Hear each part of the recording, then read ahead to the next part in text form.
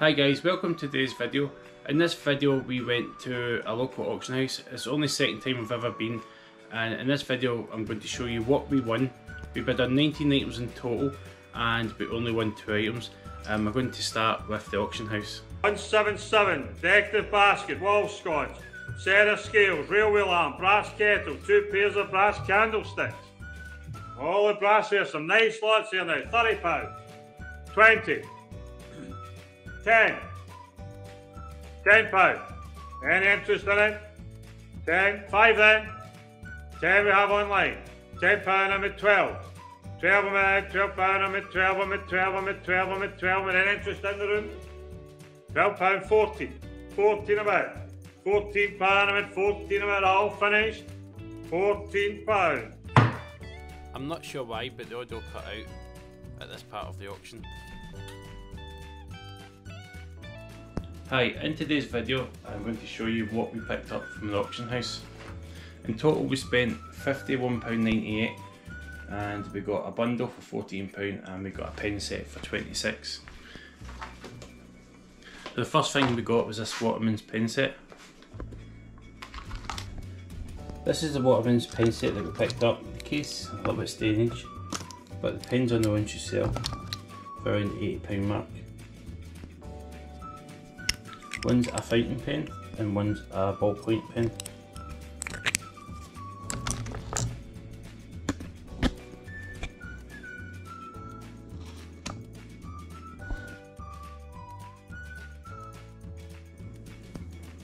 The 14 bundle came with two baskets.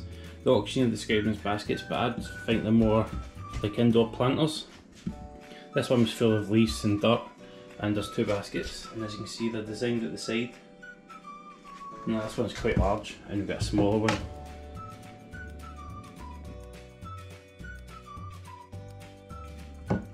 In part of the same bundle we've got quite a bit of brass.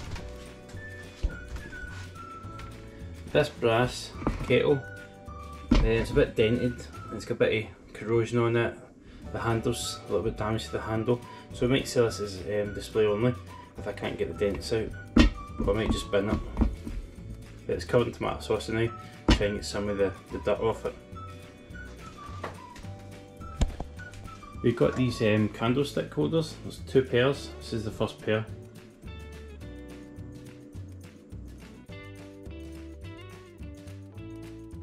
And this is the other pair.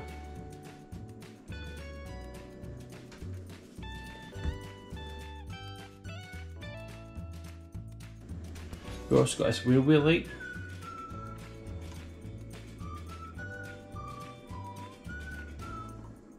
I think it's meant to have a little bit at the top.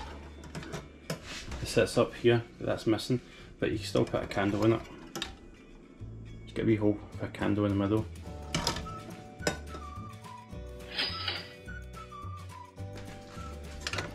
And you've got this wall sconce.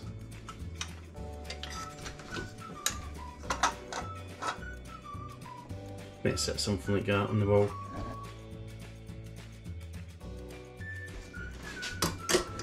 And the best thing that we got is probably this sort of scales.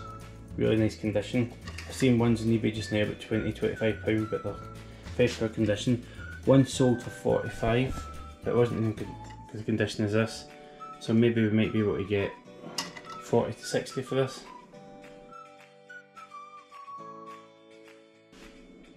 That's everything we picked up at the auction house today. Um, we bid on 19 lots and we only won two.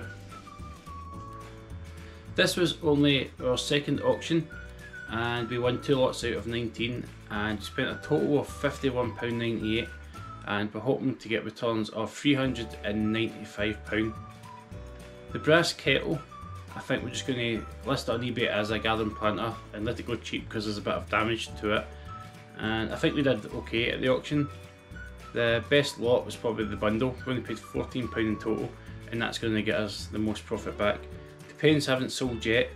They've been up for about a week now on eBay and similar pens have sold for a little bit dearer or single listings so we might split the bundle up and sell the pens separately but right now we're just leaving one for a couple of weeks and see how it goes.